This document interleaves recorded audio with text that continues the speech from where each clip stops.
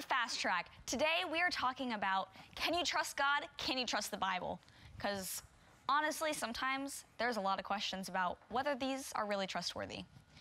Dad, do you remember when I went to downtown Cincinnati and served at that soup kitchen? Oh yeah, with that Muslim had that question about your faith and about. Uh... Yeah. So while I was down there, there was this Muslim guy who had asked me why I trust the Bible and how I can trust God because with all of the copying errors and all the different translations, how could it possibly be correct? Well, that is exactly why I brought a leaf blower and toilet paper today to answer that question. Of course it is. Well, I think a lot of people have questions, and uh, I'll show you how a leaf blower really helped explain that. But a lot of people have questions, like your Muslim friend. How do we know the Bible's trustworthy? What's the evidence for it? What about the copying process? You know, over the years, I've spoken at colleges, I've spoken with skeptics. People are unconvinced, saying, genuinely, how can an educated person believe that the Bible is actually historically reliable? What are some of the questions you've had?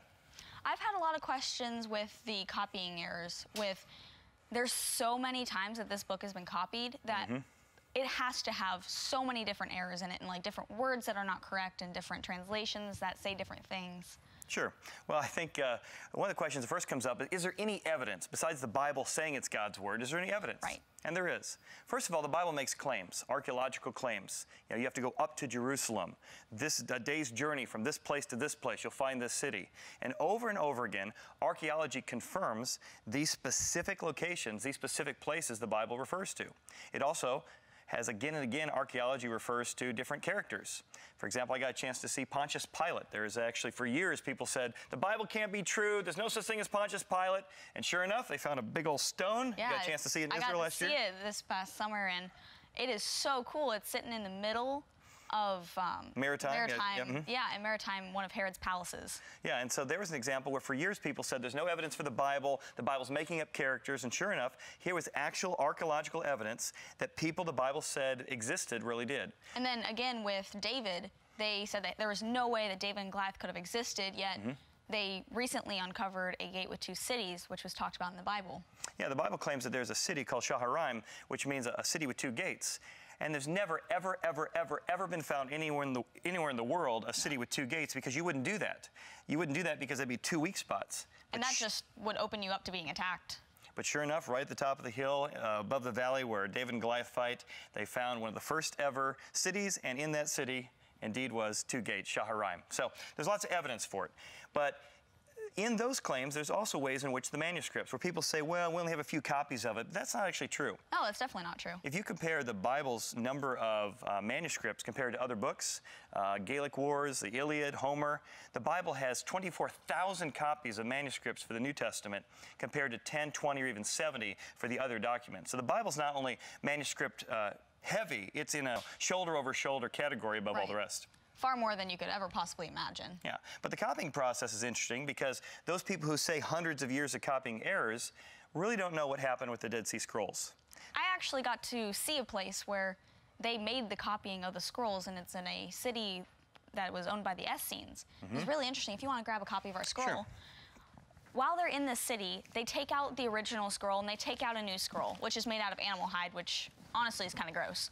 But well, the reason they did that though is they'd have the the original they're going to copy here, the blank one here, and they made it out of animal skin because it took so long to copy, it took so long to make that if you went through this process, you wanted this thing to last for a long, long time. Right. So tell us how that process of copying from one to a blank one went through to make sure there weren't any errors. Right. Well, a lot of times they would have four different people mm-hmm. to be able to write just one letter.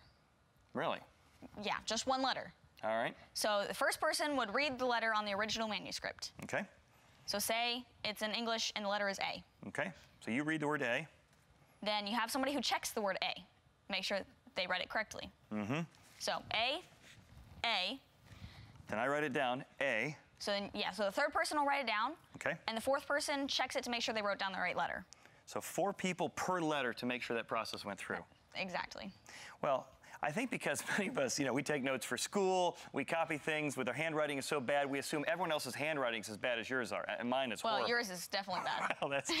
In fact, I got a chance to see a full scroll of the Pentateuch. That's the first five books of the Bible. We unrolled it in our church we did. and let people come forward and see it.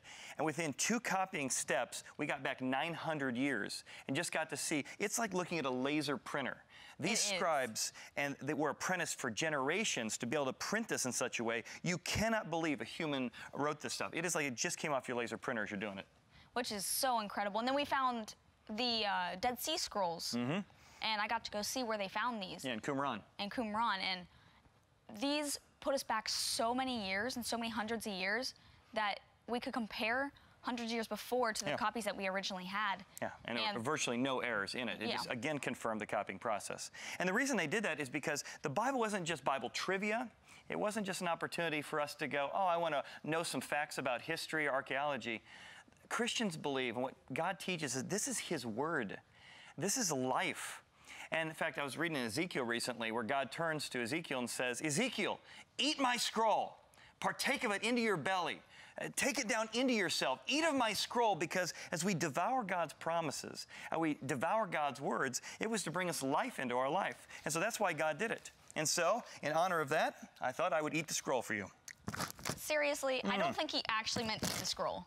Well, thank goodness this one isn't made out of animal skin, it's made out of rice paper. I'm probably gonna eat the animal skin Mm. too, but I think what he means is It's actually kind of tasty. I think he doesn't mean to actually eat the Tastes like honey. Well, in that process, rather than making it out of paper or something that you know, wouldn't last very long, they actually made it out of animal skin, so it would last for literally hundreds of years Right. before they made a copy. But then, before it was certified, they had what were called counters. The counters would actually come in when it was all complete and count the letters from beginning to end and from end to beginning. And Wow, that they must have taken a long time. well, it did. It took years to make a manuscript because of the precision. And they knew the middle letter. And if they counted from end to middle and, and beginning to middle and didn't come to the right letter, they had to start all over again Oh, and goodness. re-look and find the problem. Then once those counters applied to it, they again came back and had counters that counted the middle, not letter, but word. And they had to make sure they hit the right word before it would be certified as an actual scroll that could be trusted. Wow, that would take forever. But how do we know that it's actually God's word that's being delivered here? And now we're back to toilet paper and leaf blowers. Of course we are. So let me show you the process. Come over here on my left hand side. All right. The Bible uses a word in 2 Timothy that says that all scripture is God breathed, which literally means the very breath of God came over and extended upon these human authors. So you find different human personalities writing the Bible all through time. Some were very uh, long winded, like Paul. Paul. I love where Peter says, even I don't understand what Paul's saying. Um, there's other places where, like in the book of Mark, it's written very magazine format. But this is the process where God carried these folks along. So while they were writing, what they were recording was historically accurate. And so, though they were sinful beings, God carried them along or superintended them so that they would be able to hear and see God's word without error. Let's show, show us how this works. There we go. That's what I'm talking about. Yep, this there. Uh-huh. All right. So in that process, you can take that one off. All right. What happened is that the, wind carries along the toilet paper in the same way that ancient documents like the Bible were more like toilet paper in that it was unrolled rather than a book that's unfolded. And so God carried along these writers, so everything they wrote in these books we call the canon of Scripture were inspired and error free. Not because the human beings were error free, but because the process was. So let's inspire some of the Old and New Testament. Why don't you grab that leaf blower? I'll load mine back up and we'll do it again. I'll be the New Testament, you be the Old Testament. I'll even load mine up twice so we can do a little double. All So, again, in 1 Peter it says that God inspired his word. These are the very words of God, the very breath of God. And this is why we can not only trust the Bible, we can trust his promises as well. Ready, Old- New Testament? I I'll think be the so. Old Testament. Here we go.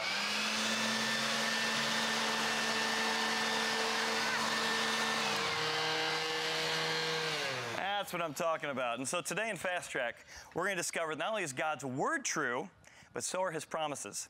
And Abraham's going to need that promise because he's coming face to face with an incredible challenge from God. Because God turns to Abram and says, I want you to sacrifice your only begotten son, Isaac. Will he be able to trust that God's not just viable, he's actually reliable? So grab your tic tac toe boards and let's get on the fast track.